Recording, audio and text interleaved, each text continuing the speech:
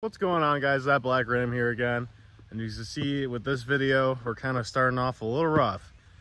Uh, we got the tool toolbox out here, kind of got a mess in my bed. But we're gonna get into what exactly is going on here with the truck and why I've got a jack stand under it. Kind of got the setup a little bit here, but we're gonna get this wheel off. We're gonna be diving right in.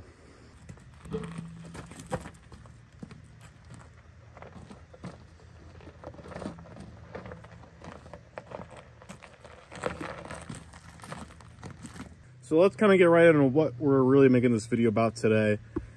Uh, so as you can see, I have full air ride on my truck, all four corner.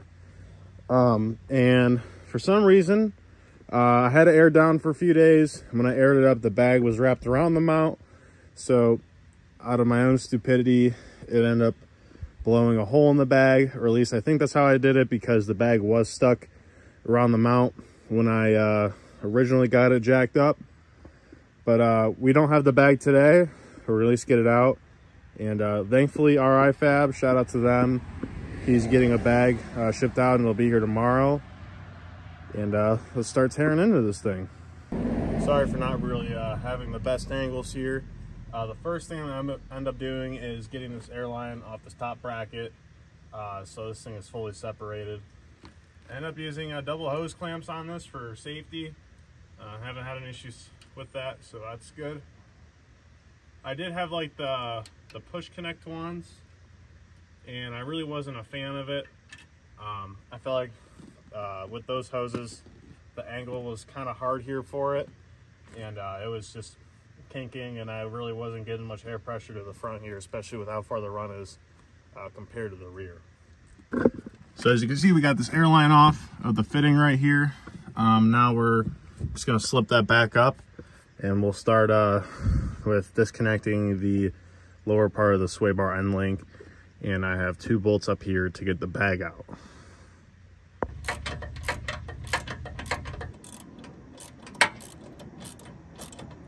There's uh, nothing really ideal about the situation. I don't usually work in my driveway like this.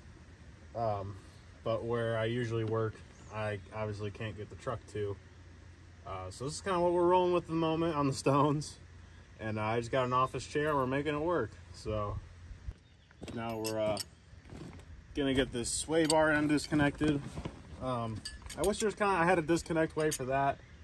Uh, but instead I opted into doing the top because clearly what holds this lower mountain is that bolt. So we're kind of stuck with this, but um, it makes me feel a lot better that I'm not really depending on a pin for that. Uh, as far as up here, uh, doesn't really bother me too much. I think I'm gonna have to kind of adjust these sway bars a little bit because I got adjustable ones.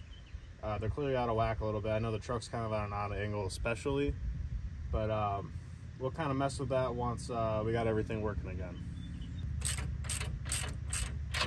All right, so now at this point, uh, we're gonna be ready to take the bag out. And uh, we're gonna end up taking these mounts off and getting this bag out. I'll show you where the tear is we'll kind of see if maybe we can kind of get an idea of what did it. Um, especially so I can avoid that again. But uh, that's what we'll get today, and hopefully tomorrow we'll be able to put the new bag in.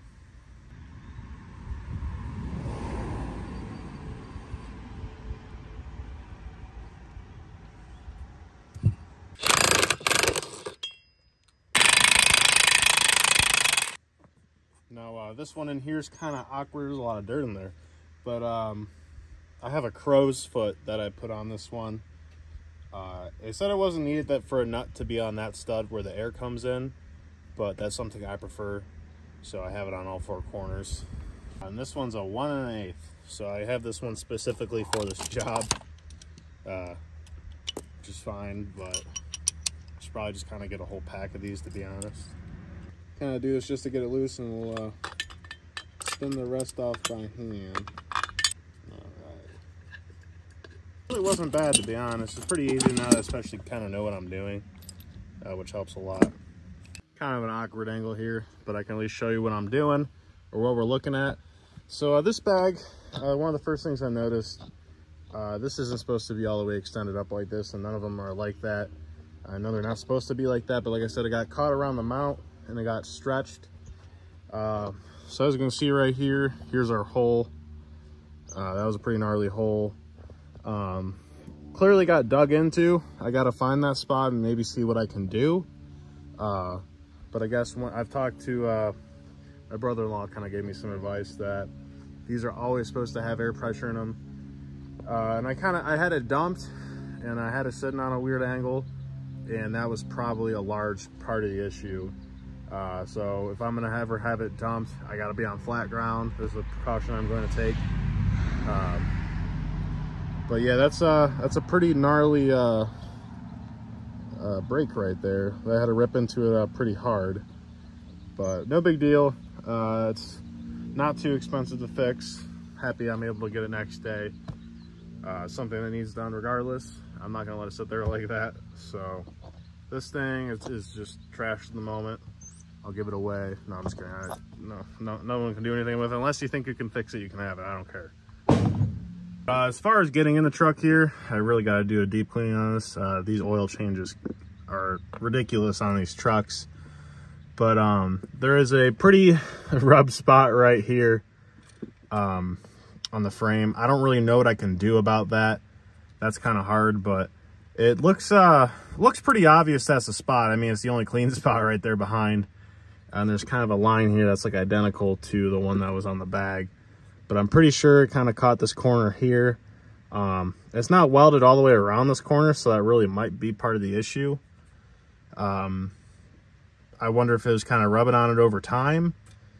Maybe there's something I could put there. Um, like maybe there's some some rubber or something I can kind of wrap around this corner, like something like some sticky rubber. But uh, yeah, guys, as I sit out in my front yard like a hillbilly in a uh, my computer chair and working on my truck, you know, I got my nice truck and it's on a jack stands right now. Uh, we'll kind of put the truck in the shot. We got the old power stroke over here that I made a video on the other day. Um, this is kind of just what it is owning this stuff, you know. Uh, I really didn't think this would happen to me as fast as it did. But this is kind of just part of owning something like this. You know, Air Ride is not, this is not a factory thing. It's not really designed for it. Uh, there's a lot of things you have to work around. Uh, I'm really happy with what I did still. Uh, there was a lot of work that went into this and I think that's what kind of sucks is that I, I worked so hard on this. Uh, this took a lot of thinking for me because I've never done anything like this before. This truck's, I've done everything to. So everything's been a huge learning process for this truck. And uh, this is just another step in the process. But I've seen people do stuff like this before. That they rub, and especially areas like that. I've heard about the track bar mounts rubbing. I don't believe... Yeah, so that's not even related to the track bar uh, from what it appears on this angle. But I know the other side I can rub pretty hard, and I'll have to kind of take some time to check on that one and see what's going on with that. Uh, maybe air it down and put it on a jack stand and kind of move it over and see. But I didn't really think it would get that close to the frame. Uh, I think it's kind of a ride height issue, to be honest. Uh, if it's, I might have to maybe move the bag out more on the mount, uh, which I think I can make happen. There's definitely some adjustability on the lower part of the mount, and maybe that would help. But I'll have to look into when we get the bag here in the morning and uh, we'll go from there, guys.